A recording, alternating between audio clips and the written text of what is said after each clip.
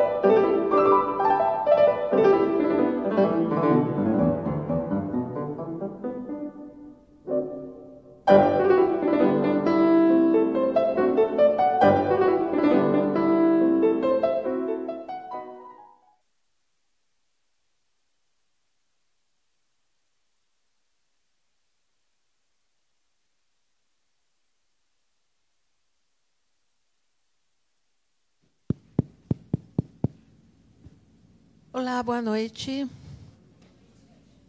Para quem não me conhece, eu sou Dora Mourão, diretora da Cinemateca.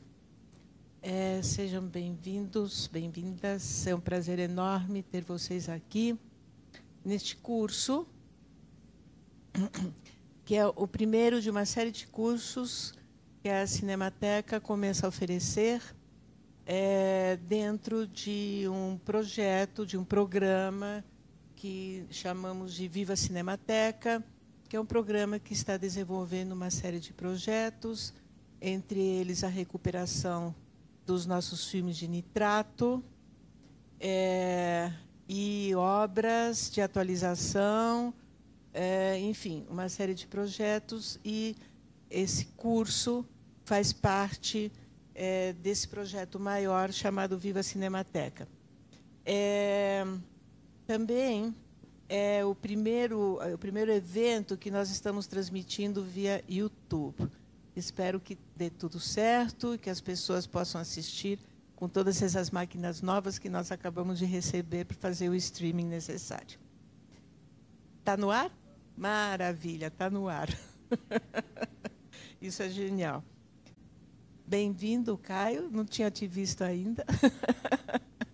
Enfim, e também, bom, não posso deixar de agradecer os nossos patrocinadores, que sem eles a gente não estaria aqui, que é, é o Itaú Cultural, é a Shell e é o Instituto Cultural Vale, que estão nos apoiando nesta série de eventos e de projetos que estamos desenvolvendo. Obrigado pela presença, aproveitem muito o curso e tchau. Até a próxima.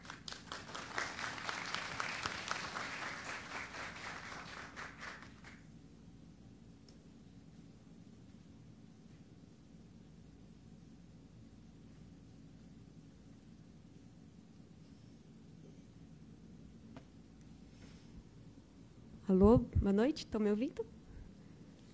Boa noite, pessoal. É, queria, antes de mais nada, agradecer é, a Cinemateca pela oportunidade, pelo espaço é, para acontecer esse curso, super importante, fundamental.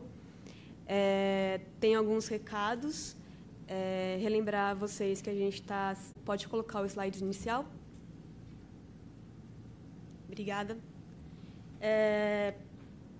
Bom, queria começar falando um pouquinho sobre mim. É... Eu sou a Marcela Greco. Eu tenho toda uma trajetória acadêmica na área de pesquisa em cinema. É, sou de São Paulo. Cursei mediologia na Unicamp na graduação. Tenho pós-graduação é, em jornalismo cultural pela FAP aqui em São Paulo.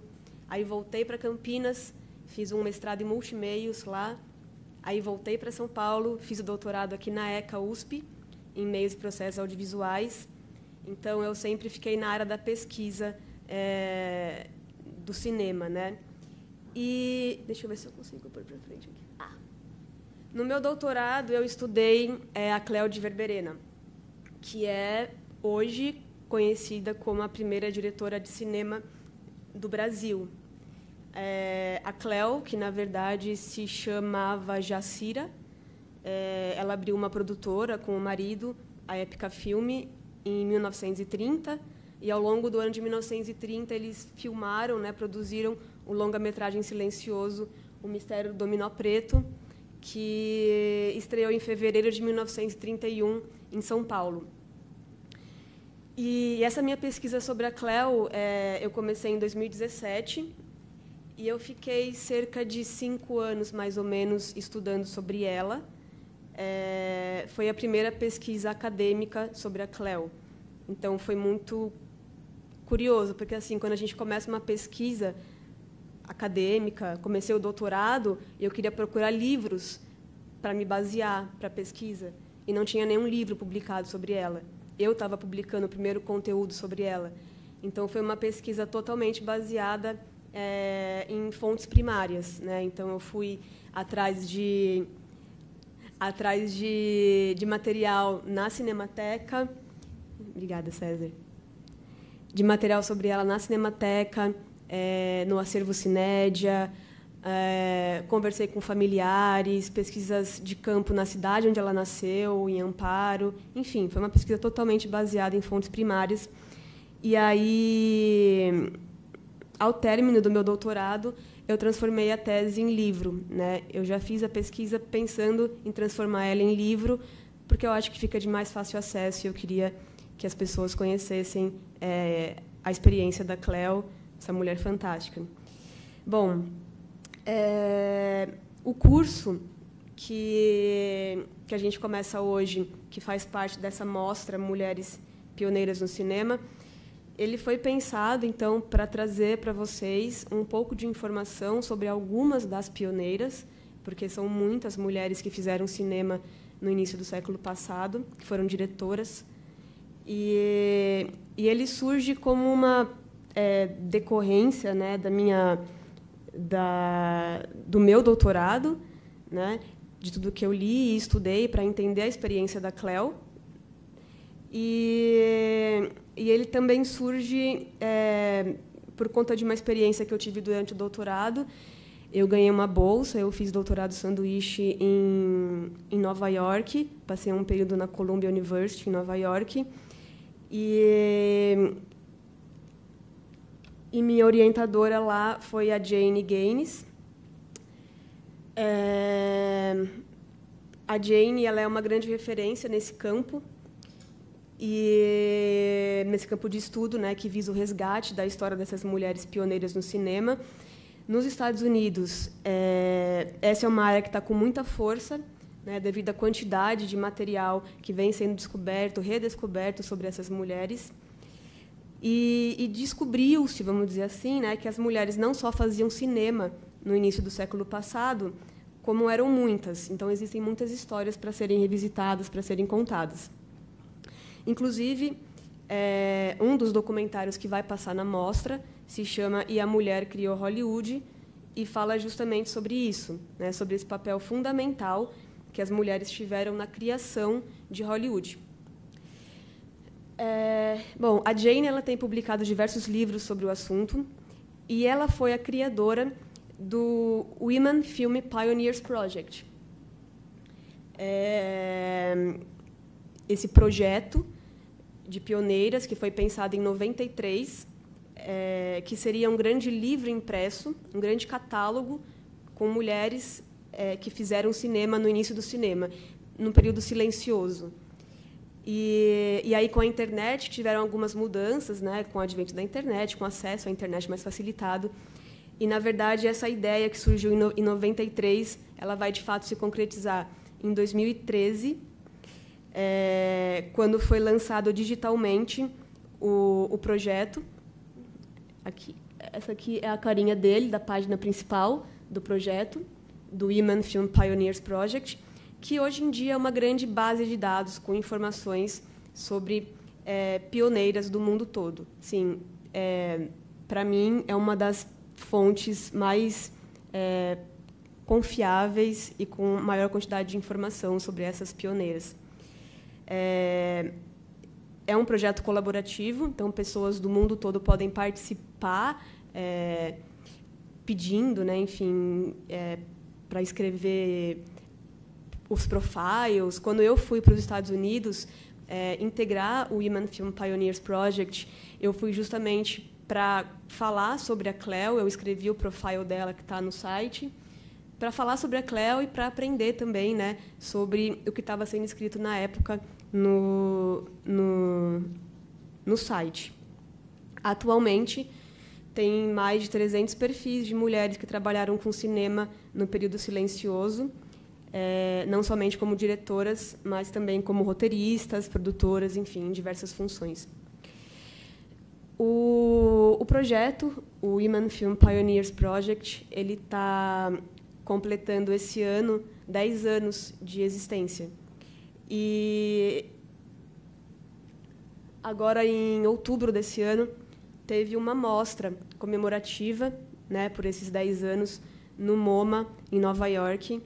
E diversos filmes foram exibidos de pioneiras de países mais diversos possíveis: Japão, China, Tunísia, Polônia, Itália, França, Escócia, muitos filmes. Foi realmente incrível.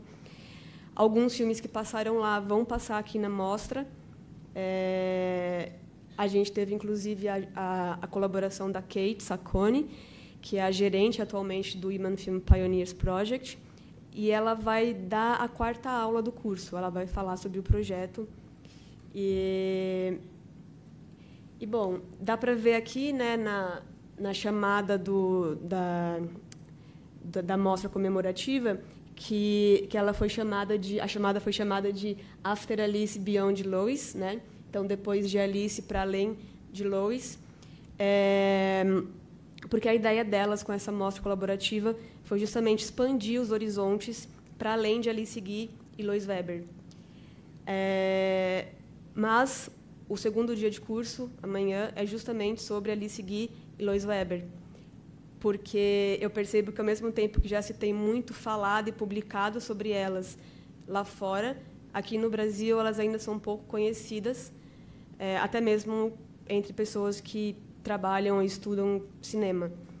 E, inclusive, é, a gente tem poucos livros né, publicados, publicados não, traduzidos né, para o português, enfim. Se você vai procurar um livro sobre essas pioneiras para comprar na internet, eles estão custando uma fortuna né? Então, o acesso à, à informação sobre elas também é bem restrito. Então, eu reservei um dia do curso para falar só sobre essas duas mulheres. É, Alice Guy, ela é francesa, né? Ela foi é, a pioneira. Ela é conhecida como a primeira mulher é, diretora do mundo. Ela foi a pioneira francesa, primeira diretora do mundo, e ela também está entre os primeiros diretores do mundo né? Porque a Alice Guy ela estava simplesmente na sessão de demonstração do cinematógrafo dos irmãos Lumière. É, não a sessão de dezembro de 1895, ela estava na sessão para convidados, que aconteceu em março. E, e ela é contemporânea a, a Méliès, a Thomas Edison, a irmãos Lumière. Né? Ela criou a linguagem cinematográfica junto desses nomes que a gente conhece muito bem e a gente não escuta falar sobre elas, sobre ela, né? Assim como a Lois Weber, que é um pouquinho posterior, que foi a pioneira é, dos Estados Unidos, a mais prolífica diretora de cinema que os Estados Unidos já teve e também ninguém fala sobre ela. É, a Lois Weber, por exemplo, a Lois Weber, por exemplo, só no ano de 1916, em um único ano, ela dirigiu 10 longas-metragens para a Universal e roteirizou nove desses longas. Então, assim, é como se essas mulheres não tivessem feito parte da história, mas elas estavam lá fazendo história junto com esses homens. E, e a ideia, então, é essa, nesse primeiro dia de curso, é trazer esse contexto né, e algo mais abrangente sobre pioneiras. Amanhã, focar nessa experiência, é, na experiência pioneira da Alice Guy e da Lois Weber, e no terceiro dia, na semana que vem, eu vou falar sobre a Cléudia Verberena, que é a pioneira é, nacional. Né? É... queria começar com essa frase, né? Elas faziam cinema, porque ela me faz lembrar de algo que é no mínimo curioso, né? Assim, como eu disse, eu tenho toda uma formação em cinema. Faz uns 20 anos, mais ou menos, que eu estudo cinema. E em todas as aulas que eu tive, todos os livros que eu li, todos os cursos que eu assisti, até muito recentemente, a história do cinema brasileiro, mundial, é contada, são contadas com um protagonismo masculino. E não é só um protagonismo masculino. As mulheres não aparecem nem como figurantes, vamos dizer assim, quando se fala de alguém atrás das câmeras, né? Especialmente em histórias mais antigas, como a gente, como a que a gente vai ver nesses próximos dias. E eu sempre assistia essas aulas, eu lia esses livros, eu via esses cursos e eu ficava me perguntando, gente, não é possível, cadê essas mulheres? O que, que elas estavam fazendo? Né? Não é possível. E o que acontece é que essas mulheres elas estavam ali também, junto desses homens, é, fazendo cinema, inventando cinema, né? E só que elas nunca foram devidamente incluídas né, nessa história do cinema e em outras histórias que a gente sabe que também acontece. É, hoje em dia a gente vive né, um fenômeno transnacional assim de redescoberta de mulheres que fizeram história. É, no campo do cinema especificamente, a gente pode dizer que esse fenômeno é resultado de uma guinada em direção a uma confluência dos estudos de gênero, teoria do cinema e história do cinema, que vem mostrando, então, através de mostras, de festivais, de livros, pesquisas acadêmicas, de iniciativas como o Women Film Pioneers Project, que as mulheres estiveram, desde o começo da história do cinema, presentes nas mais diversas esferas do fazer cinematográfico. Porém, apesar dessa movimentação ser transnacional, né, desse interesse simultâneo em diversos cantos do mundo, é, a quantidade e a qualidade de materiais, de documentação, de filmes dessa época e sobre essas mulheres varia muito de país para país. Isso porque é, muita documentação dessa época foi perdida, destruída por causa da ação do tempo, do homem, guerras, descaso governamental, desqualificação do cinema como arte, como documento histórico. E quando eu falo de documentação, eu não estou falando só de papel, estou falando de filmes também, né? É, e esse período do cinema silencioso, em específico, já é um período muito difícil de se pesquisar, porque muitos filmes dessa época foram perdidos, né? E, e o que acontece nessa época do cinema silencioso, na época das pioneiras, os filmes eles eram feitos em película de nitrato, né? O suporte para as imagens o rolo, né, onde as imagens eram impressas, ele era feito de nitrato. E o nitrato ele é um material extremamente complicado de se lidar. Ele ele é extremamente inflamável, ele pega fogo até mesmo sem chama. Ele pega fogo muito fácil, um fogo muito fácil, muito rápido e que você não consegue apagar, porque ele continua pegando fogo mesmo embaixo d'água. Você tem que isolar o nitrato quando ele começa a pegar fogo. E, além desse caráter combustivo, ele é um material de difícil é, preservação, porque ele tem que ser mantido em condições adequadas de iluminação, de, de temperatura, de umidade, porque senão ele derrete, senão ele vira pó. Você perde para sempre aquilo que estava no rolo. Né? Então, é muito complicado cuidar desse material, preservar essa memória audiovisual sem a devida ajuda. E é por isso que a quantidade e a qualidade de documentos desse período varia muito de país para país. No Brasil, infelizmente, é, estima-se que a gente tenha somente cerca de 10% do que foi produzido no período é, silencioso. Então, a gente perdeu 90% de, desses filmes. É, a, inclusive, aí a importância do projeto Nitratos, que vem acontecendo na Cinemateca, que a Dora mencionou também desde o começo desse ano. Eu posso falar um pouquinho sobre ele também é, ao final, se sobrar tempo, que, que vai cuidar então desse acervo em nitrato que, que, que está na Cinemateca.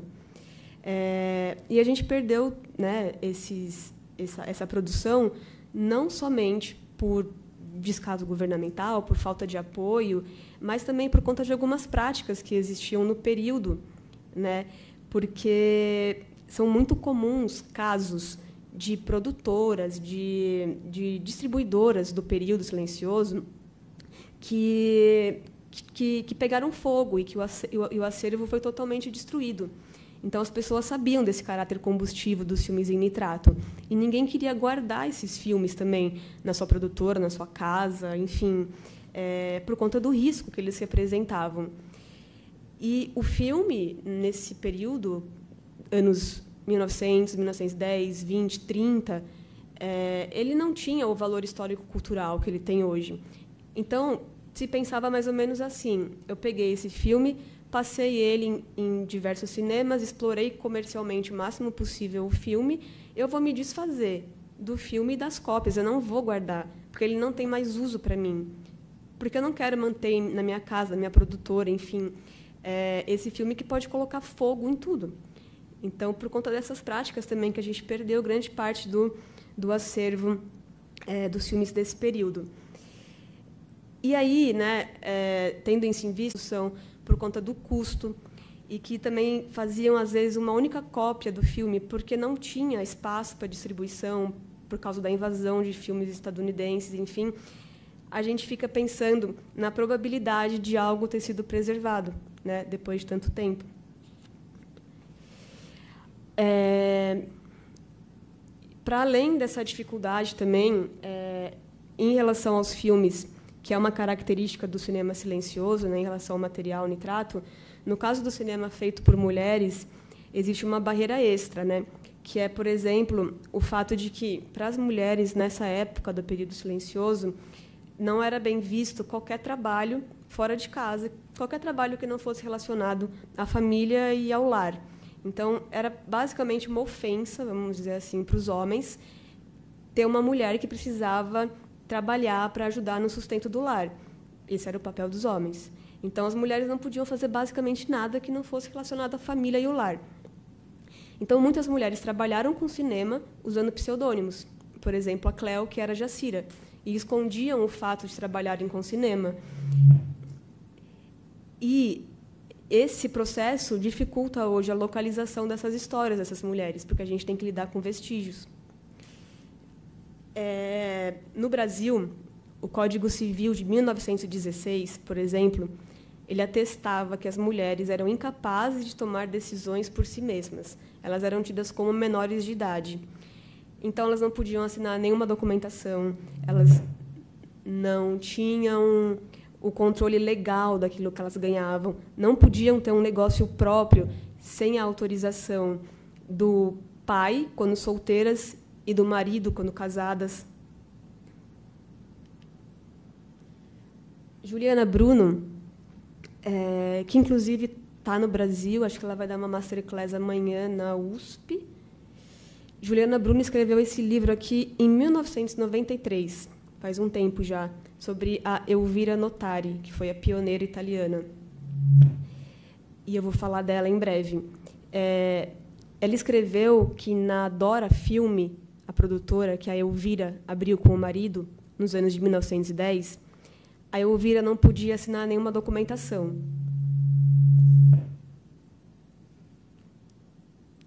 Obrigada, Caio. É, ela não podia assinar nenhuma documentação. E por muito tempo, com base nos documentos da produtora, acharam que era o marido quem comandava tudo, porque era ele quem assinava é, papelada de distribuição, de compra de material. Até nos filmes, às vezes, aparecia só o sobrenome, Notari. E por muito tempo se acreditou que o responsável por aquelas produções era. Não? era o marido dela, o Nicola Notari, mas na verdade era ela, a Elvira Notari. Enfim, apesar de todas essas dificuldades e barreiras, é, existe sim muita documentação é, sobre essas mulheres ainda hoje. Existem muitos filmes que sobreviveram, que estão preservados, que estão aí para serem analisados. O caso dos Estados Unidos, como eu falei no começo, por exemplo, é fantástico e é antigo, porque nos anos 70, em 72, Anthony Slide e Sharon Smith foram contratados para dar início a um catálogo de filmes de longa-metragem é, feitos nos Estados Unidos entre 1910 e 20, se eu não me engano, em 72. E eles começaram a mexer em vários documentos antigos, em papelada de distribuidora, de produtora do período, né, dos anos 10, 20, em revistas, jornais, e eles ficaram impressionados com a quantidade de filmes que tinham sido dirigidos por mulheres. E olhando para aquela documentação, eles chegaram à mesma conclusão, os dois, de que é, nunca tiveram tantas mulheres diretoras nos Estados Unidos como entre os anos de 1910 e 20, especialmente entre 18 e 22. E eles chegaram a essa conclusão nos anos 70. E só hoje que essas histórias vêm sendo revisitadas. De acordo com a, com a Jane Gaines, eu vou deixar no final aqui na tela uma bibliografia é, básica, tá? É, de acordo com a, com a Jane, Uh, foi na Universal, do Carl M., que as mulheres encontraram mais oportunidades nesse período.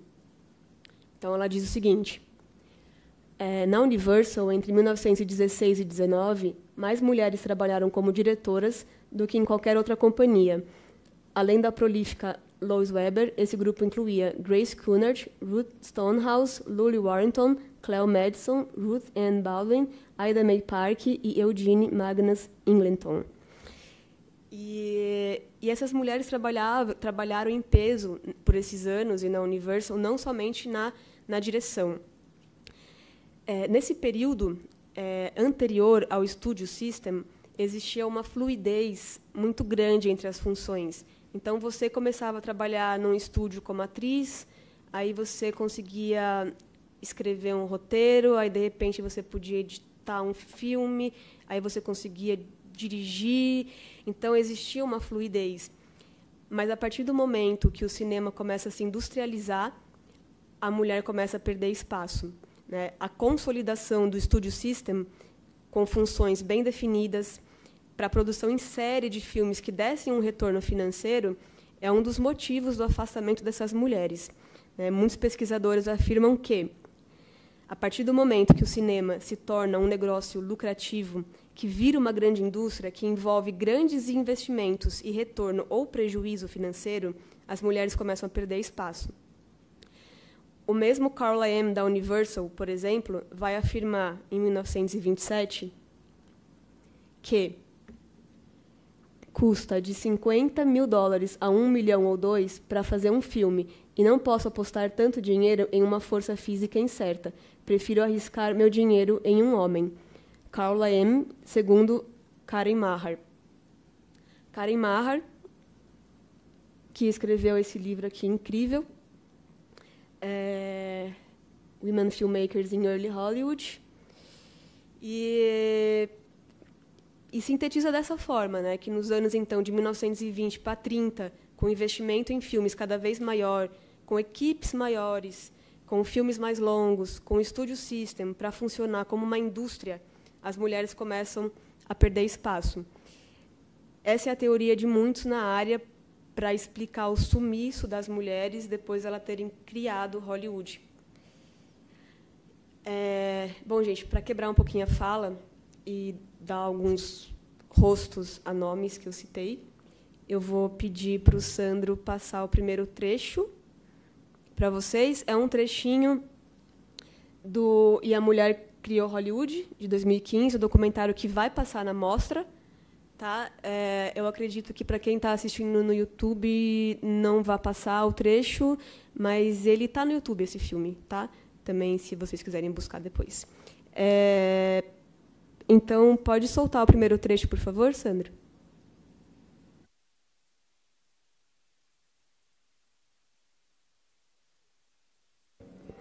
Não é esse, Sandro. Esse é o segundo. Esse.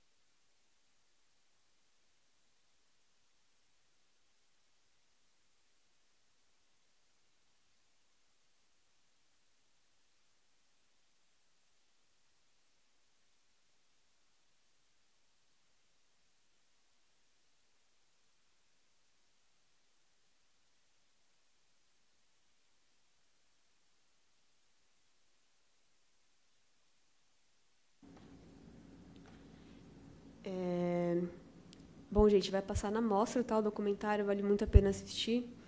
E acho que deu para ter uma uma ideia, né, da atuação dessas mulheres no, no começo de Hollywood. É, para sair então dos Estados Unidos, eu trouxe essa citação da Karen Mahar também, onde ela vai dizer que mulheres fora dos Estados Unidos começaram a fazer filmes mais ou menos na mesma época. Elvira Notari na Itália, Olga Walbrook, Lotte Heiniger, Tia von Harbu na Alemanha, Olga Preobrazhenskaya na Rússia, Starshud na Ucrânia, Loli Little na Austrália, Germaine Dulac na França e Adriana e Dolores Ehlers no México. Essas são algumas mulheres, né? Obviamente, eu vou falar de algumas também é, para vocês, é, bem resumidamente, por conta do tempo. E eu vou começar com a Elvira Notari, que eu já mencionei no começo, e depois eu vou falar sobre algumas diretoras latino-americanas, né? algo mais próximo a nós. Prolífica diretora italiana. Né? Ela nasceu em 1875 e, além de diretora, ela foi atriz, foi produtora, foi roteirista, distribuidora. E, ao longo de 25 anos de carreira, ela dirigiu 60 longas-metragens e centenas de curtas. É, ela fundou, junto do marido, o Nicola Notari, a Dora Film Company,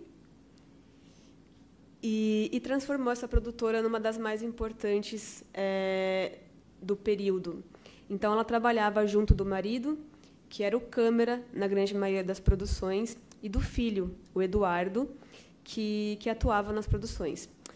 O, o nome da produtora Dora é uma homenagem à filha do casal, mais nova, que não teve nenhuma relação aparentemente direta com o cinema. Quando a Elvira casou com o Nicola, ele trabalhava com fotografia, né? Fotografia mesmo, estilo. E eles decidem começar a fazer pequenos filmes de despedida que passavam depois do filme principal nos cinemas. Mas a Elvira ela queria contar histórias, ela queria fazer fazer tramas mais complexas. Ela queria falar sobre coisas que ela via, que ela escutava falar, que ela lia, sobre casamentos que terminam, sobre gravidez indesejada, sobre amores não correspondidos. E ela decide abrir uma escola de atores e começa a treinar é, pessoas para atuar no, nos filmes dela, incluindo o filho, o Eduardo, que vai ser um dos alunos da Elvira. É, e, o mari, e com o marido na câmera, então eles começam a fazer alguns filmes. E os filmes da Elvira começam a fazer muito sucesso, não só na Itália, como nos Estados Unidos, onde existia uma população muito grande de italianos com saudades de casa. E, e ela distribuía muitos filmes é, para um braço da produtora da Dora Film Company, que, que existia em Baltimore e em Nova York. Então, talvez por isso que a gente tenha tantos filmes da Elvira tão bem preservados ainda hoje. Talvez, porque muitos deles foram parados nos Estados Unidos. E a carreira da Elvira vai até os anos 30, mais ou menos. Ela começa a ter problema com o regime fascista, que vai defender e apoiar um cinema que mostrasse a grandiosidade da Itália, filmes feitos em estúdio, com uma realidade controlada, uma realidade inventada.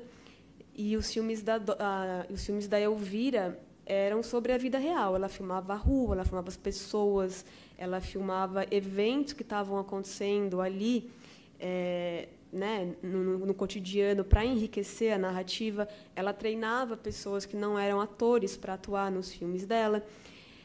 É algo que lembra bastante assim o que vai acontecer um pouquinho depois com, com o neorrealismo italiano. Né?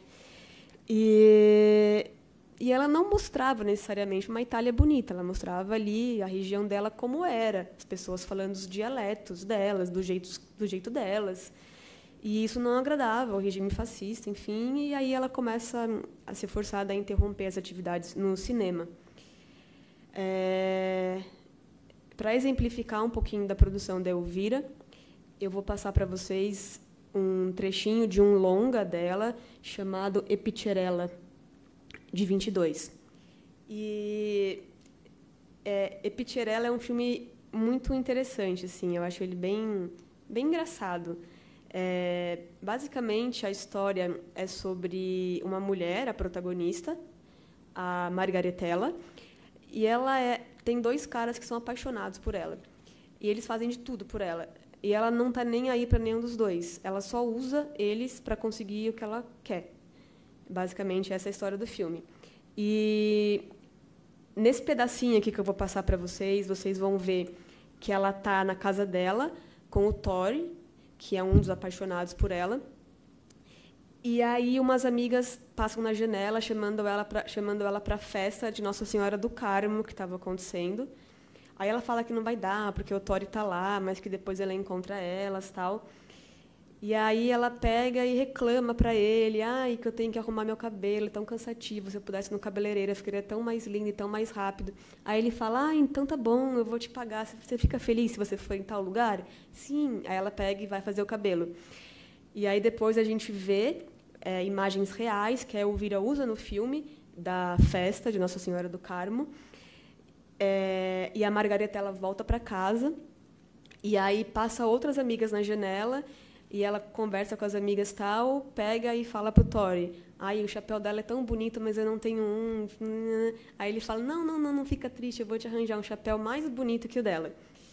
E aí ele convida ela para ir na festa, ela fala que está passando mal, que vai ficar em casa, e ele vai na casa da mãe dele roubar as joias da mãe para comprar tudo que a Margaretela quer para ela ficar com ele. Eu tenho vontade de contar o desfecho do filme, mas eu não vou contar para vocês verem, que vai passar na mostra também. É... Hum... Pode soltar, então, Sandro, por favor, o... agora sim, aquele trecho 2 lá que você tinha soltado antes. Obrigada.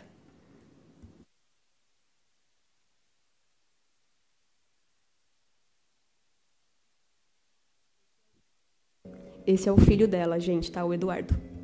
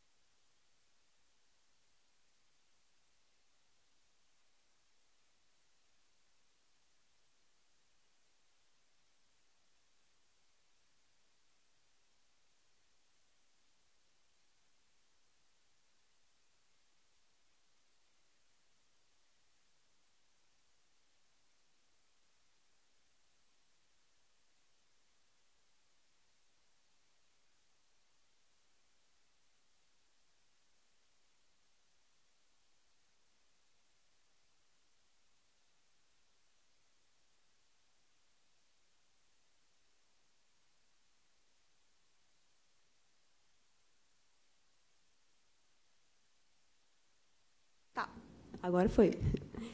É, esse filme também vai passar na mostra, tá? Vale muito a pena assistir. É, Epicharella, então, né? De 1922. Eu gosto muito da trilha que colocaram nele. Acho incrível. É, bom, passando então para as latino-americanas. A gente teve uns, umas, uns achados, umas descobertas bem interessantes recentemente. É... Bom, no Brasil, então, a nossa pioneira, né, Cláudia Verberena, vai começar a produzir o, o, o longa-metragem dela em 1930, mas na Argentina as coisas começam bem antes. É... A Emília Saleni é dado o título atualmente de pioneira argentina. Ah, gente, uma coisa que eu esqueci de falar, que pediram para eu avisar vocês, tem uma mesinha no braço das cadeiras que vocês podem puxar para anotar. Ela é meio secreta, mas funciona. Isso. É. Enfim, a, a Emília Saleni, então, é, nascida em 1894, ela é conhecida hoje como a pioneira argentina e a pioneira latino-americana. É, ela fundou em 1915 a primeira Academia de Artes Cinematográficas da América do Sul e, junto com os alunos dela, ela fez alguns filmes, como La Linha del Bosque, em 17, Passeio Trágico, também de 17, e El Panuelo de Clarita, é, de 19. E, e El Panuelo de Clarita é um filme que foi recentemente localizado. Então, assim, é muito incrível, porque até pouco tempo atrás eu escutava falar sobre ele. E agora eu consegui assistir o filme. E também vai passar na mostra. É, é um filme com cerca de 40 minutos, que foi dirigido entre 17 e 18, lançado em 19. E quem guardou né, é, o filme é, teve um cara chamado Batista Amé que, que atuou no filme Panuelo de Clarita e escreveu o argumento. E foi a família dele que guardou uma cópia do filme por todos esses anos, desde 1919. E eles guardaram um VHS. Não é a película original, não é uma cópia em película, é um VHS que eles guardaram e quando o filme completou 100 anos, é, em 2019, a família procurou o Museu Nacional del Cine em Buenos Aires para fazer a doação do filme. E o filme está passando em uma série de festivais, de mostras. É um filme inédito, que né, não, não dá para assistir em nenhum lugar, é, a não ser nesses eventos oficiais. Eu acho que ele vai passar no último dia da mostra, e,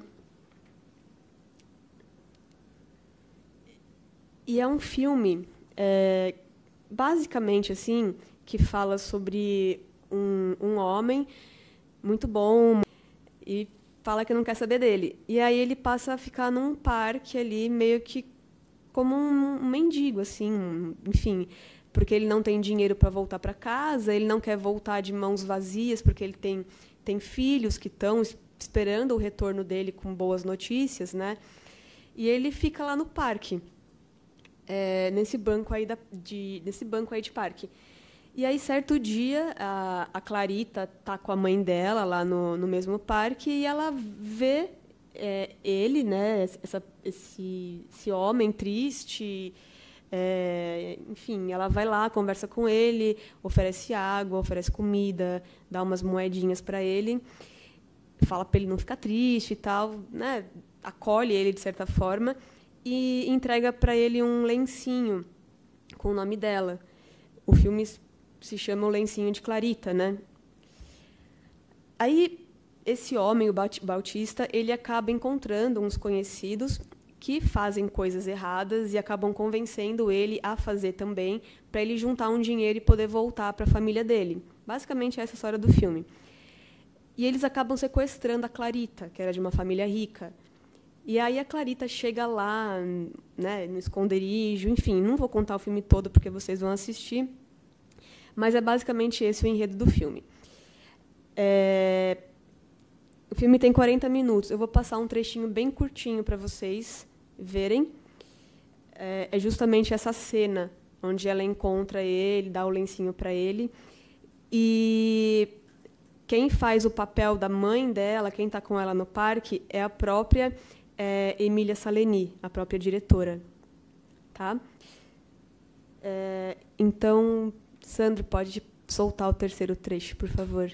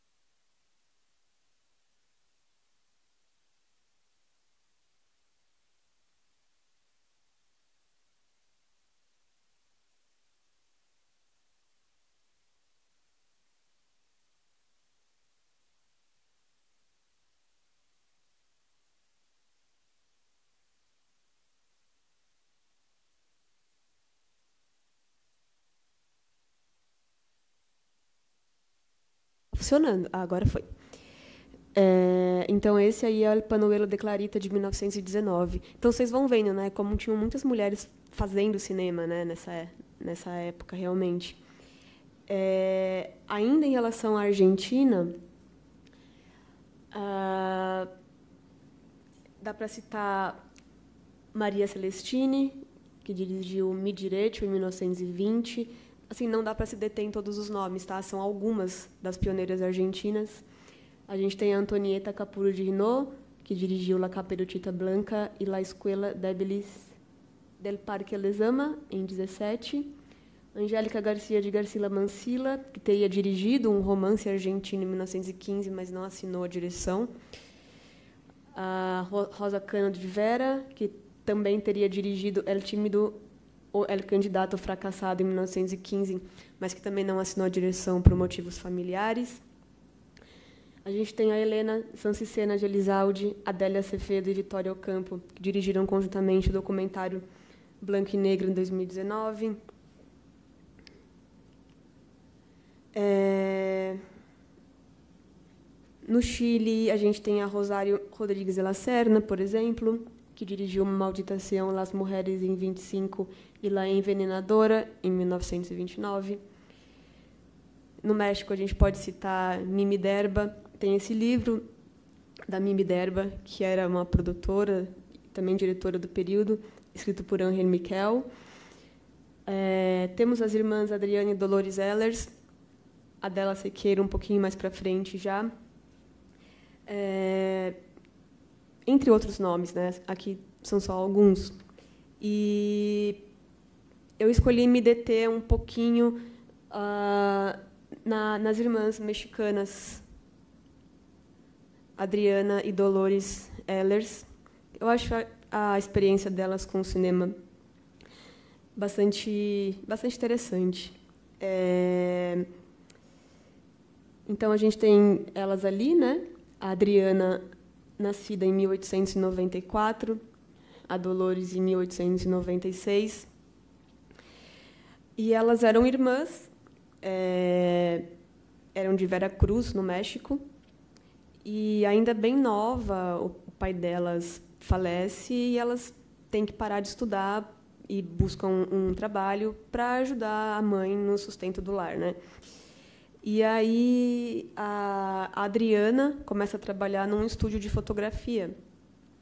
Passado um tempo, ela aprende tudo que ela tinha que aprender ali é, para começar a trabalhar por conta própria e ela decide abrir o próprio estúdio de fotografia dela e chama a irmã. Então elas abrem um estúdio de fotografia ali é, em Vera Cruz e, e, começam a fazer sucesso com a qualidade da, das, das imagens, né, das fotografias que elas tiravam. É, certo dia, o presidente Venustiano Carranza estava passando por lá, estava em Vera Cruz, e aí avisam ele que elas tiravam ótimas fotos, ele vai lá e ela tira uma foto dele. Elas tiram uma foto dele. E ele fica impressionado com o trabalho delas e ele decide apadrinhar as duas irmãs. E, e ele dá uma bolsa, vamos dizer assim, né, para elas irem estudar fotografia é, em Boston, nos Estados Unidos. E aí as irmãs chegam nos Estados Unidos em 1916. É, a Dolores tinha 19 anos, a Adriana tinha 22 anos. E elas o, o, o apoio, mas elas continuam a trabalhar é, de forma mais autônoma, né? É, num laboratório na casa delas. Entre 22 e 31, elas vão filmar a revistas Ellers, que era um, um cinejornal. Né? Nessa época não existia televisão, as pessoas iam no cinema para ver as notícias nos cinejornais. Então, semanalmente, elas entravam em contato com os próprios exibidores, é, davam para eles lá, vendiam né, a, a, a, as cópias.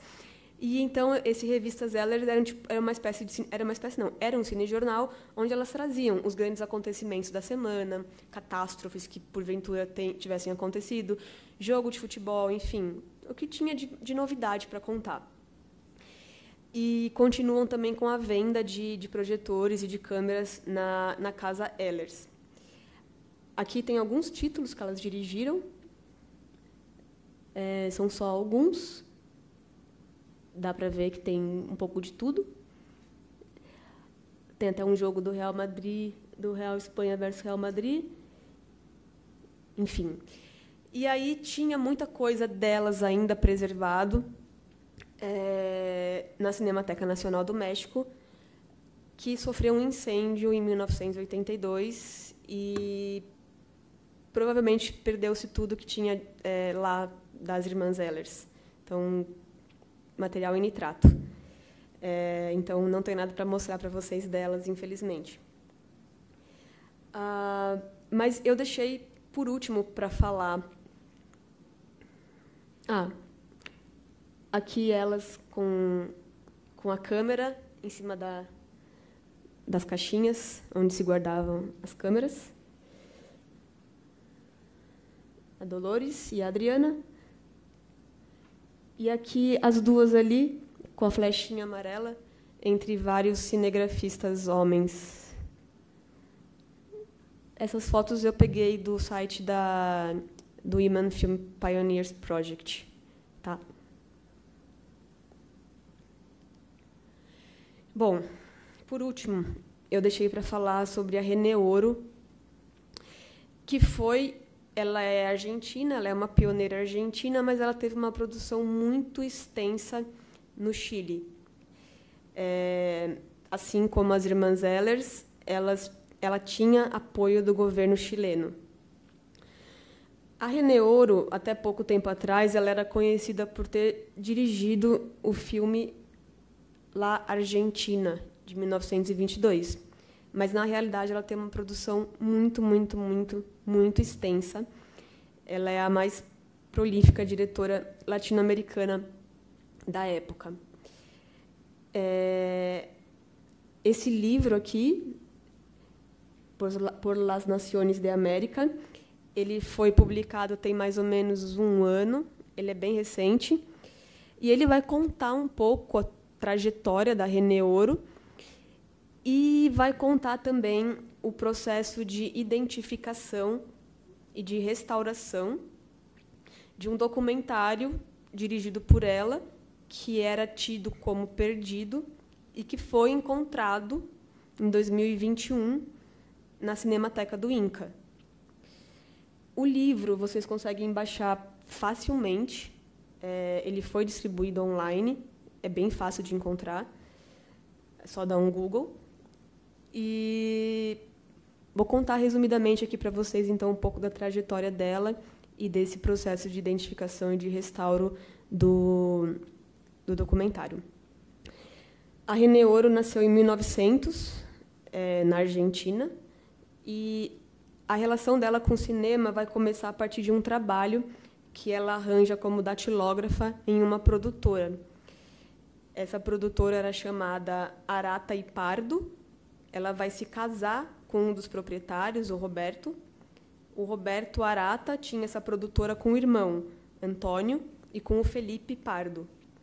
E eles faziam é, documentários sob encomenda. Eles eram espécies de cavadores, assim como existiam no Brasil. Eles faziam filmes de qualquer assunto. Quem quisesse pagar, eles estavam fazendo o filme. E, e ela vai com o Roberto, o futuro marido dela, é, para a Europa divulgar um filme chamado La Argentina. É um documentário de arquivo feito com imagens da Arata e Pardo sobre a Argentina.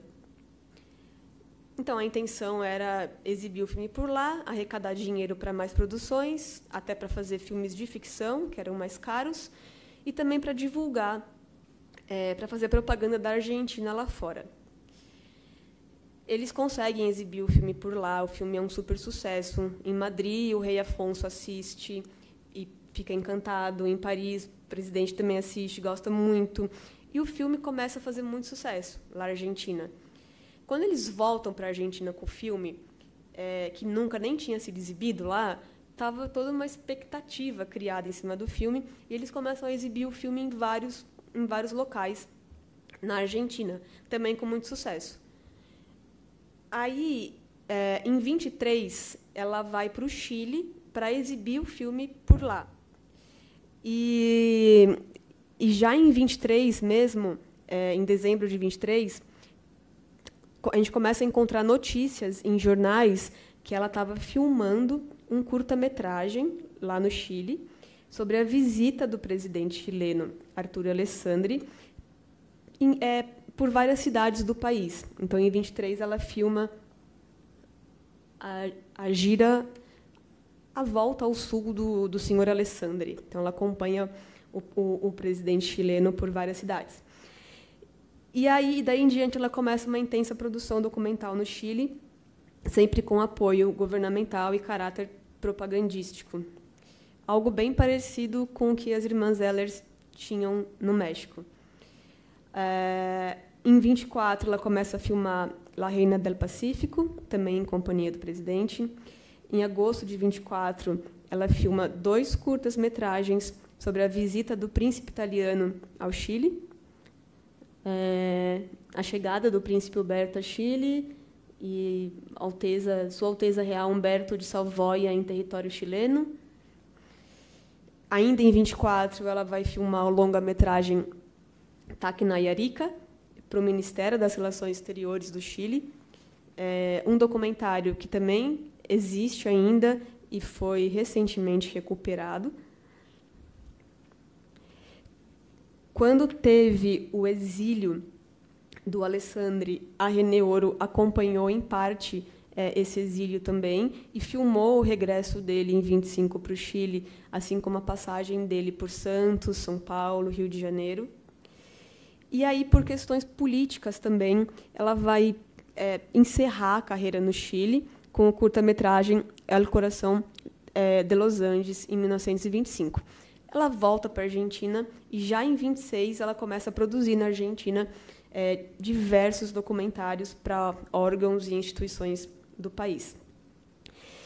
É, em 27, ela faz três documentários, por exemplo, sendo que um deles, Evolução e Progressos de la Província de Santiago del Estero, foi também localizado recentemente, está restaurado, digitalizado e vai ser exibido na mostra também no último dia, se eu não me engano. É uma experiência, uma oportunidade incrível de assistir esse título inédito. É, enfim, acho que deu para ver que ela tem uma produção bem, bem extensa e intensa né, nos anos de 1920. E, e acredito que também dá para ver pelos, pelos títulos que eram filmes de propaganda, filmes que eram exibidos nos cinemas, mas que também eram levados para ser exibido, exibidos em mostras, é, em feiras internacionais, né? Porque assim, é, a intenção do, primeira né, dos filmes era mostrar para o mundo o desenvolvimento urbanístico, econômico, industrial do Chile e da Argentina. Né? Lembrando que a gente está nos anos de 1920, não existia televisão, era muito difícil viajar para lugares, por exemplo, do Chile para a Europa, né? E eram viagens de navio, enfim. Esses filmes eles serviam então para despertar o interesse social e principalmente econômico é, para atrair investidores, para estabelecer parcerias, abrir mercado para os produtos regionais, é, atrair mão de obra, chamar pessoas para povoar lugares afastados, demarcar fronteiras. Né? Então, eram filmes que tinham mais ou menos essa intenção, assim, é, os filmes que, que a René Ouro fez e as irmãs Ehlers também no México.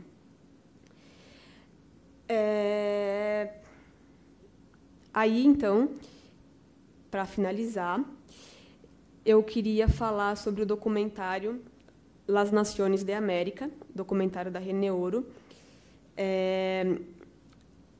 Ainda em 1924, quando ela estava começando a produção dela no Chile, ela anunciou que ela ia fazer um projeto, que ela tinha um projeto intitulado ABC. Então seria um filme é, no qual ela pretendia mostrar para o mundo a força e a beleza de alguns países sul-americanos. A ABC seria Argentina, Bolívia e Chile. Então, nesse projeto, ela ia usar imagens que ela já tinha da Argentina, com o Lar Argentina de 22. Ela ia usar imagens que ela estava começando a fazer no Chile em 24. E ela filmaria algumas coisas na Bolívia. O projeto não foi para frente, o ABC mas ele virou um projeto ainda maior, porque chamado Las Naciones de América, porque ela incluiu, é, além da Argentina, Bolívia e Chile, o Brasil e o Peru, é, com o propósito então de difundir universalmente as belezas, as riquezas, o desenvolvimento econômico, a cultura e a união desses países da América Latina. E o Las Naciones de América ele estreou em 26 de setembro de 1927 e fez muito sucesso. E foi um filme, um documentário, que foi ficando cada vez maior e mais elaborado, porque conforme ela ia é, viajando para esses locais, ela ia juntando mais imagens, ela ia modificando, ela ia incluindo algumas coisas, retirando outras, e incluindo mais conteúdo, enfim.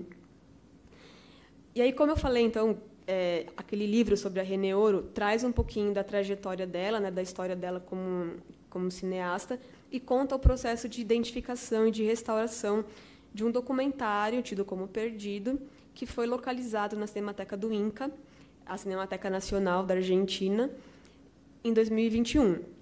É, durante um processo deles lá de reorganização do acervo, eles estavam organizando as coisas, as latas, né? E encontraram umas latas encontraram umas latas que chamou muito a atenção deles. Eles não tinham visto aquelas latas antes. Estava perdido lá na Cinemateca. Quando eles abriram uma das latas, estava escrito no rolo é, Estátua de Santiago del Estero, entre parênteses, René Ouro. Era o documentário dela de 27 que eu, que eu falei. E foi um super achado. Encontraram um documentário da René Ouro, em 21 documentário que vai passar aqui na mostra. E aí tinham mais quatro latas. e não tinha nada escrito nos rolos, não tinha identificação nenhuma naquele conteúdo. Em três latas tinha três rolos e na quarta lata tinham vários rolinhos pequenininhos que eles suspeitavam que fosse descartes, né? E, e o pessoal começou a analisar esse, essa, esse material para descobrir do que, que se tratava. Eles começaram a fazer análise de conteúdo e começaram a suspeitar, com base nos intertítulos, que era o Las Naciones de América, e aí eles começaram, fizeram todo o estudo com base no conteúdo, nas imagens que estavam ali, com base no tipo de película utilizada. A película é, ela tem umas marcas de borda, dependendo do fabricante, que indica o ano de produção do material, não de filmagem do material, que ajuda a cercar é, quando aquele, de quando que é aquele, aquele filme, aquele material, aquelas imagens. Enfim, eles começaram toda uma análise de conteúdo e descobriram que era, de fato, é, três rolos do documentário Las Naciones de América, considerado perdido e que estava, na realidade, perdido dentro da cinemateca do Inca. É, o que acontece?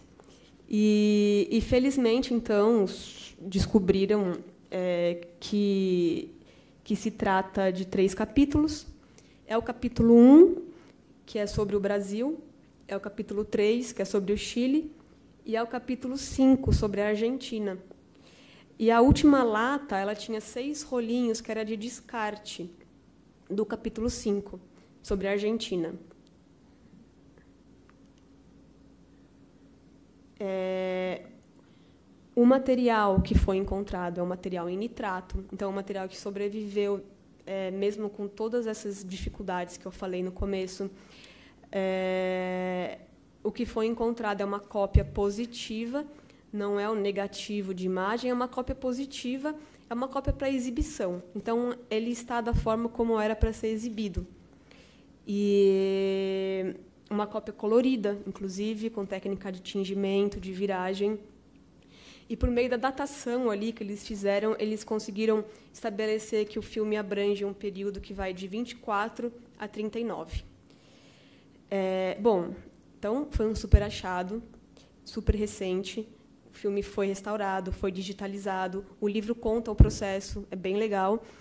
E também vai passar na mostra, se não me engano, no último dia, junto com o Dar Saleni. E mas já que vocês estão aqui até agora, para matar a curiosidade de vocês, eu vou passar um pedacinho do filme, é, que é justamente do começo do filme que é o capítulo sobre o Brasil. E aí tem imagens muito bonitas de São Paulo e do Rio de Janeiro é, do começo do século passado, filmados pela pioneira argentina é, René Ouro. Então, Sandro, pode soltar o último.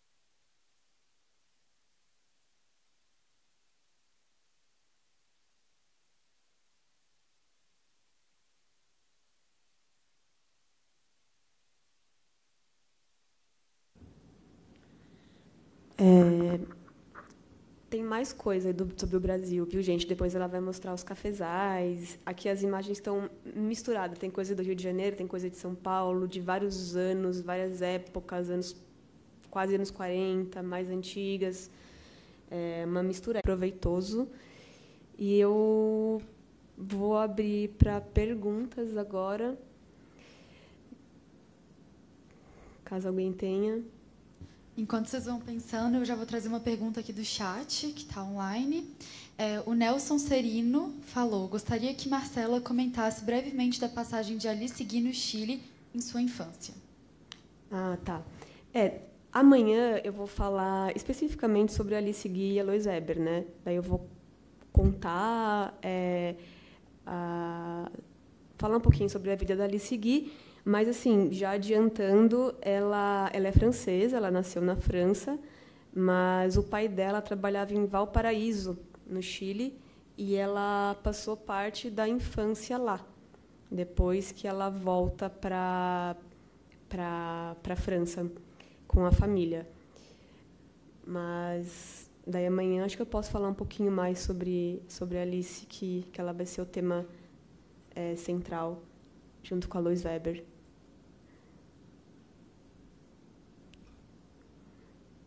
Pode ser comentário também, não precisa ser pergunta.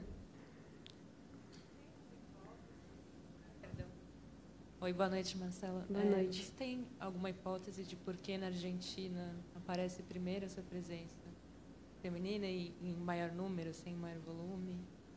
Então, eu fiquei, eu não não tenho uma resposta, mas é algo também que eu fiquei me perguntando assim, é, principalmente depois que foram achados os filmes né, da Saleni, da René Ouro, por que, que na Argentina é, a produção foi bem anterior à do Brasil, né, de, de mulheres?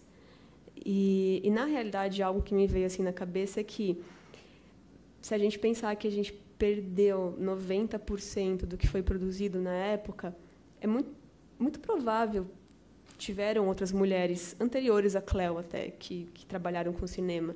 A Cleo é a nossa pioneira até onde a gente sabe, mas eu acho que talvez essa possa ser uma justificativa, sabe? Porque a gente não tem é, o material.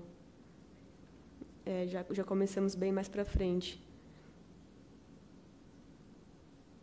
Aqui no chat a gente tem mais duas perguntas. É, da Júlia, que fala aqui de São Paulo. É, a Júlia fala daqui de São Paulo. Gostaria de saber se existe, além de Alice Guy, alguma outra cineasta que teve produção especificamente durante o primeiro cinema. Meu mestrado é sobre esse tema. Aí, é, ela queria saber, então, outra cineasta no primeiro cinema. Imagino que ela está se referindo bem no início dos anos 1900. É, e Ana Roberta Alcântara tem uma pergunta, se possível. Eu sou de São Paulo. É, dos filmes existentes que sobraram dessas pioneiras, o maior volume é de qual país? A gente tem essa informação? Ah, tá. Bom, é, diretoras contemporâneas a Alice Guy, é, na realidade, a, a, maioria dessas que eu que eu falei sobre hoje são contemporâneas a Alice Guy, né? A Alice Guy, ela vai, ela é francesa, ela, mas depois de, de começar é, a trabalhar com cinema em Paris, ela vai para os Estados Unidos, é, já adiantando algo de amanhã, é, na própria produtora, vamos dizer assim, da Alice Guy, que é a Lois Weber, tem a primeira oportunidade no cinema. Então, são mulheres é, que faziam cinema ao mesmo tempo, assim. E a pioneira que tem o maior montante de filme ainda existente? Era essa a pergunta, talvez? É, de qual país? De qual Mas país? se tiver uma pioneira também. É. Eu chutaria o, os Estados Unidos, né? por conta de todo o histórico que o cinema tem lá e por conta daquilo que eu falei no início, de que, é, bom, a gente sabe que eles distribuíam fortemente os filmes deles para o mundo inteiro, né? Era muito continua sendo assim, né, em certa medida. E pensando naquilo que eu falei de que quanto mais cópias foram feitas é, de um filme e o quanto mais espalhadas essas cópias ficaram é, pelo mundo, maiores são as chances delas ainda estarem é, entre nós, né, preservadas. Então, tendo em vista a produção estadunidense do período e a força é, com que os filmes eram distribuídos no mundo inteiro, eu chutaria que as pioneiras é, estadunidenses são as que mais têm ainda filmes preservados e que o, os Estados Unidos é o país com, com uma, a maior quantidade de títulos delas. Gente, aqui na sala, alguém se anima? Se não, tem mais uma pergunta aqui no chat. Mas se alguém na sala que quiser fazer. Quando vocês vão pensando aí, então vou falar a próxima pergunta do chat. É da Débora Vieira, também de São Paulo. É, ela pergunta: Você acha que as pioneiras tinham uma motivação mais documental do que, do que de ficção? E se sim, por quê? Na verdade, a Alice, ela, ela, é, ela é, é mencionada por algumas pessoas como a primeira diretora, primeira pessoa a fazer um filme de ficção, né? É muito difícil estabelecer essas datações assim, né? Mas ela é conhecida por ter feito o a fada e, o Repo, a fada do repolho, que é tido o primeiro filme de ficção já feito, primeiro filme com narrativa, né? Feito tendo em vista que ali na época os irmãos Lumière, por exemplo, filmavam mais atualidades. Mas na realidade essa preferência, vamos dizer assim, pelo documentário é, na realidade, era uma facilidade, vamos dizer assim, porque o filme de ficção era muito mais caro e elaborado para ser feito. Mesmo no Brasil, muitas pessoas trabalhavam é, produzindo documentários para juntar um dinheiro para fazer um filme de ficção, que sempre foi mais trabalhoso de se fazer. E depois, ainda quando você conseguia, é, mais trabalhoso e mais caro de se fazer, um filme longo, com, com atores, com figurantes, com cenário, com iluminação, enfim. E além de todo esse trabalho e custo, muitas vezes você não conseguia exibir o filme e quando conseguia era por pouco tempo e geralmente não dava muito retorno financeiro. É... Então, eu acho que é por isso que prevalecem os filmes é, documentais, os documentários. É, Acho que é isso.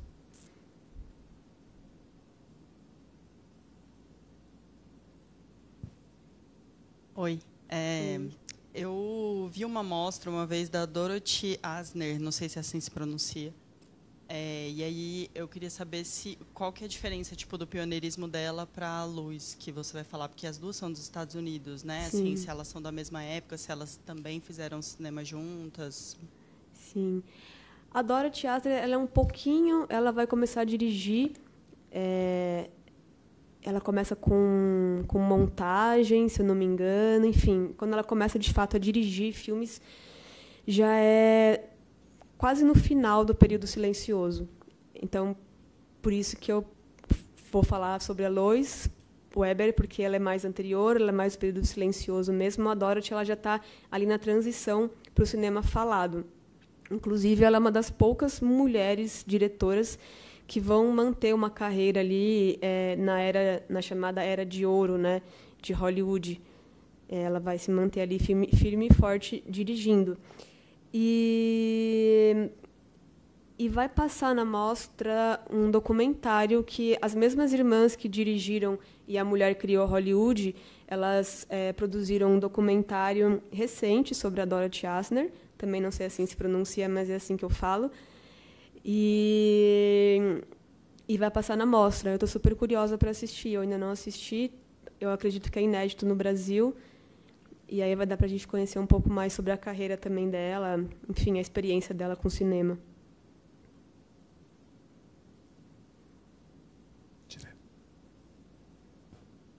Tá, dá para ouvir?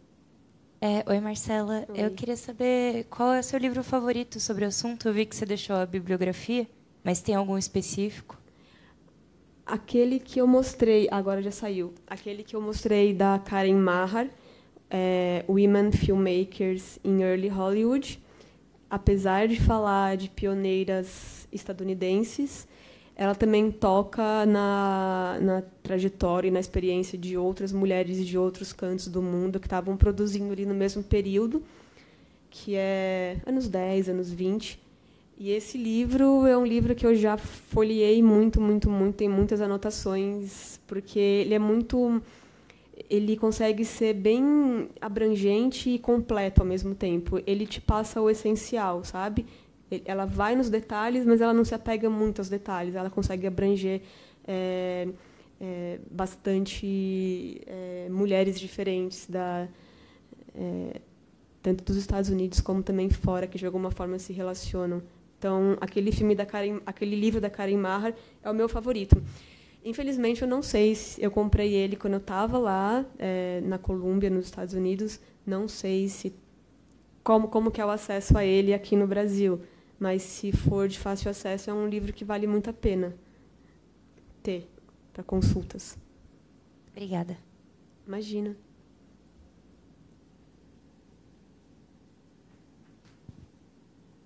Oi, tudo bem? Tudo Na verdade, eu queria fazer um comentário e uma pergunta. O comentário é que é incrivelmente difícil achar coisas sobre a Cléudia Verberena. E eu lembro, a primeira vez que eu vi o nome dela, eu sentei para pesquisar e foi muito difícil, até encontrar artigo. Tudo foi muito difícil. Daí eu encontrei o seu livro e foi absolutamente incrível. Então, agradecer pelo livro. E o segundo lugar é perguntar se você tem alguma referência, algum nome, alguma coisa sobre as montadoras no início do cinema, que também é uma, um outro assunto que eu tive muita dificuldade de achar pesquisa sobre e eu queria saber se você conhece alguma coisa. Sobre montadoras, alguma referência em específico? Eu não consigo me lembrar agora. Eu sei que, novamente, nesse livro da Karen Maher, como muitas mulheres nesse período anterior ao Studio System, como tinha essa fluidez, muitas das diretoras acabaram é, fazendo esse salto da montagem para a direção. E ela acaba falando sobre algumas montadoras. Sobre montadoras em específico, eu não, não sei te dizer. Mas o que é legal é que eu tenho visto cada vez mais livros sobre mulheres atrás das câmeras. E, e realmente era muito difícil encontrar algo sobre a Cléudia Verberena. Quando eu comecei a pesquisa né, de doutorado, eu até conversei, eu, eu e a minha orientadora, a minha orientadora foi a Esther Hamburger, lá da ECA, a gente se olhou assim, ela falou, será que será que vai rolar? Porque são cinco anos de pesquisa. Será que a gente vai achar coisas sobre a Cleo para escrever? E aí é, é, foi só entrar na hemeroteca digital da Biblioteca Nacional, digitar o nome dela e começaram a aparecer várias revistas, vários jornais, várias menções a Cleo, muita informação que estava lá só para ser reunida. E aí foi andando a pesquisa, enfim, ocorreram desdobramentos que eu nem imaginava que foram enriquecendo ainda mais a tese e o livro. E, fico contente que tenha, tenha ajudado. Era essa a intenção. É, só sobre essa questão das montadoras, é, no filme da, inclusive da Dorothy Asner, esse documentário que a gente vai exibir aqui na mostra, fala um pouco também sobre essa passagem dela pela montagem. É, tinham muitas mulheres na montagem no início do cinema, muito porque era considerado um trabalho delicado. Então, é, tem alguns estudos que falam que eles consideravam algo próximo do corte e costura, porque era algo muito manual. A, lidar com a película ali, você tinha que, é, muita, inclusive, tinham muitas muitas películas que eram coloridas à mão, né? Então era uma coisa muito pequenininha, muito delicada. Então era uma, uma função muito associada às mulheres. Então as mulheres tinham uma entrada muito grande na montagem no início do cinema por essa questão desse desse estereótipo mesmo das mulheres como mais delicadas, mais minuciosas, né? É, mas assim, pela prática delas no corte e costura, elas acabavam tinha, tendo mais facilidades. E muitas é, cineastas elas têm, elas começam primeiro na montagem e depois vão é, para essa passagem na, na é, como diretoras, né? Enfim, então É, desculpa. eles- não, Naila. Esse adendo. É, contribuições. É, sim, eles falavam justamente que a mão pequena das mulheres era era era o, o tipo certo para porque nessa época você cortava a película e colava, né, com cola para fazer, né, e e aquela mãozinha das mulheres era hum, né, i- ideal para fazer esse trabalho. Então, realmente tinha muitas mulheres na, na montagem. E tem fotos, elas colocavam assim as- a, a película, né, aqui atrás do pescoço, assim, para organizar. Era tipo tipo corte e costura mesmo, assim. Tem fotos com muitas mulheres fazendo a montagem. Só que elas não tomavam a, necessariamente a decisão pelo corte. Decidiam por elas e elas faziam os cortes e não eram elas quem decidiam. Claro, nem todas, mas a maioria não era quem decidia. Quem tomava a decisão era outra pessoa e elas faziam esse processo de corte e cola. Oi, boa noite. Estou aqui. Oi. Eu gostaria de fazer mais um comentário, não é uma pergunta, é, mas eu fiz faculdade de cinema e eu fiquei muito feliz com, com essa aula hoje, porque eu tenho certeza que você falou nomes que mais nomes do que eu ouvi em quatro anos de faculdade, né, de mulheres cineastas. Então foi muito bom ouvir você falar e é muito inspirador também. E aí um comentário que você falou, né, no começo, que essa discussão, por exemplo, ali seguir, a gente ouve muito nos Estados Unidos, mas aqui no Brasil talvez não esteja, é, não falem muito dela. Aí eu relacionei isso também com essa pesquisa, né, de mulheres pioneiras. A gente vê isso muito no ciclo de quem quer pesquisar, né, de quem está aqui na sala, de quem está assistindo no YouTube.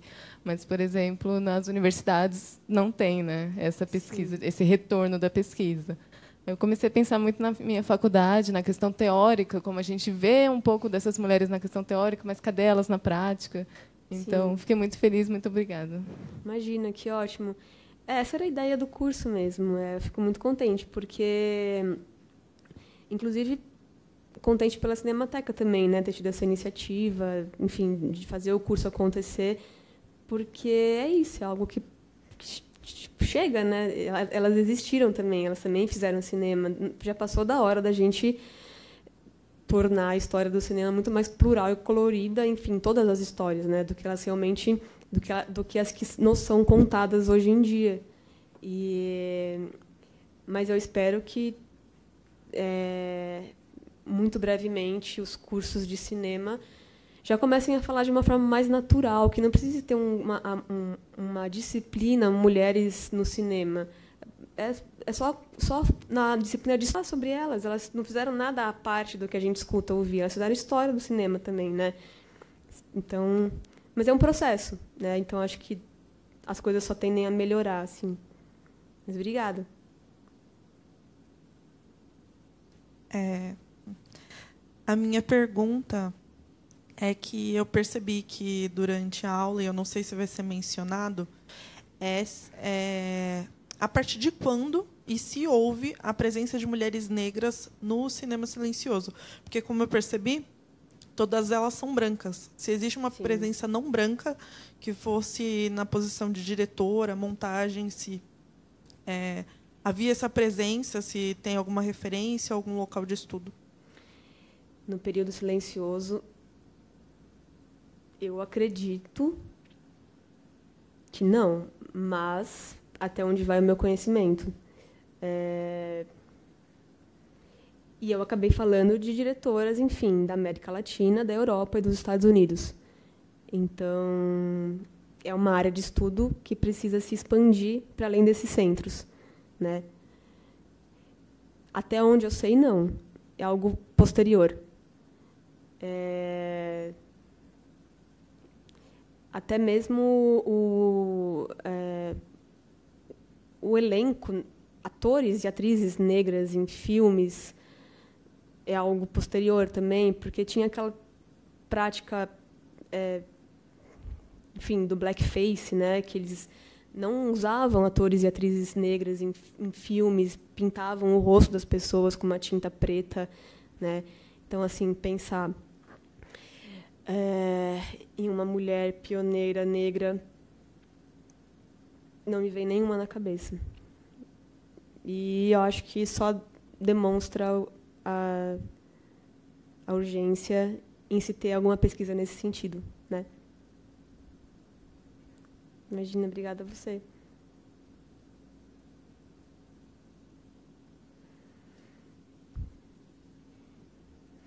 Nos vemos amanhã, gente? Sim? Obrigada.